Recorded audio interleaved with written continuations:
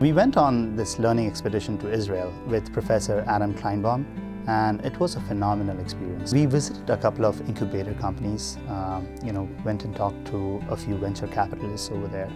Uh, we also visited some big box companies like IBM and Intel and got to visit their research labs, got to visit the factory floor at Intel where chips are designed. I've spent quite a bit of time in Israel before, but um, really had never been exposed to its business environment um, in such a direct way. And so the, the conversations that we had with um, executives, entrepreneurs, um, the, the various people uh, that, that we met with at the companies we visited um, were really sort of eye-opening for me to learn about what the business environment is like in this country that in many ways is so different from our own um, and in other ways is, is so very similar.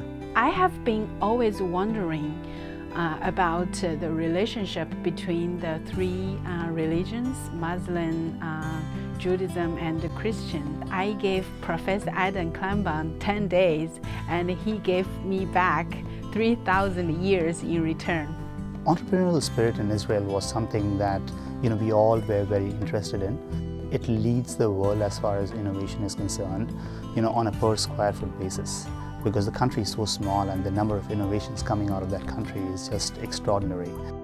Meeting Shimon Peres was a great highlight of the trip for me personally. Um, he's an inspiring figure and, and, really viewed as sort of the elder statesman of Israeli politics right now, who's uh, really widely regarded um, on, all, on all sides of the political spectrum. So we were able to um, have a Q&A session with him um, together with a couple of other business schools.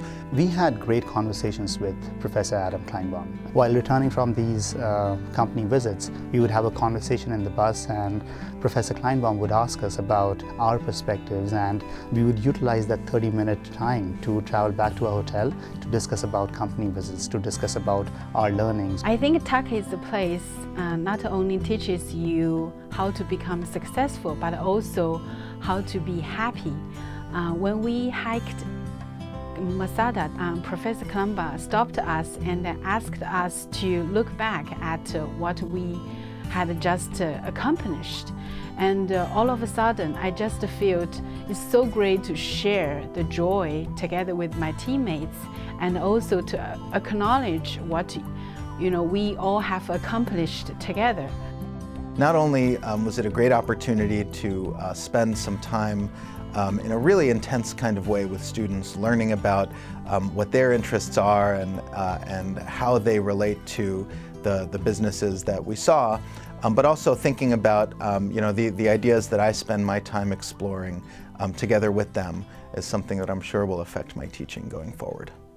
I would definitely recommend the Israel Learning Expedition. It's such an integral part of Tuck to help students get a global perspective and all these learning expeditions play a vital role in doing so.